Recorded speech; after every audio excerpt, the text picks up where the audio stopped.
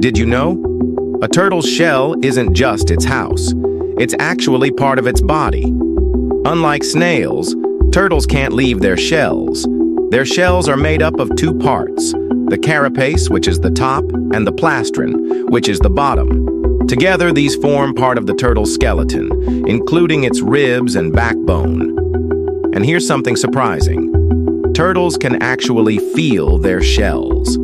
The outer layer is covered in nerve endings, so when you touch a turtle's shell, it can feel it.